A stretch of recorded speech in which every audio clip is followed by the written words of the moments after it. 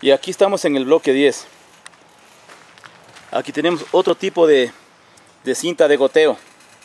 Aquí es el hidrogol. Entonces aquí podemos apreciar de que la humedad aquí es uniforme. Aquí no se ve esos círculos, esos círculos húmedos. Aquí se ve toda, todo el largo de la cama se la ve totalmente húmeda.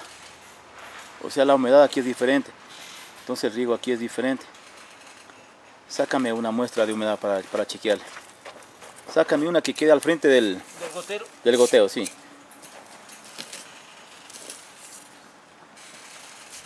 Ya, ya tampoco ahí.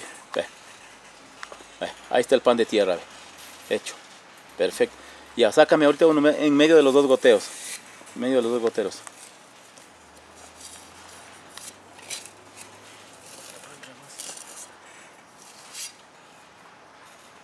Ahí tiene, ahí tiene. La humedad. La humedad uniforme, igual. Se, se formó el pan de el pan de tierra, que es cuando se- la humedad está bien a capacidad de campo. Y ahora sí, ha- hazme ver los, las, la ubicación de los, de, los, de los goteros. A ver, Aquí tenemos el uno el uno ya por un lado, y el otro por acá. ya no es frente con frente, no están en forma, Están- en forma de zigzag, no. Sí, sí. Cu- Eso, cruzado, esa sería la palabra cru- cruzado. Eso, el uno está a un lado y el otro está pero al otro lado, pero cruzado.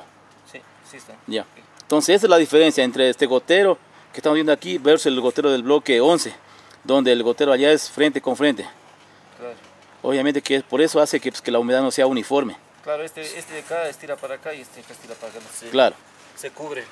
Pues, hay la uniformidad en cuanto a lo que es el riego. Sí, se, se puede ver claramente. Se puede ver claramente la humedad. Está totalmente parejita la humedad.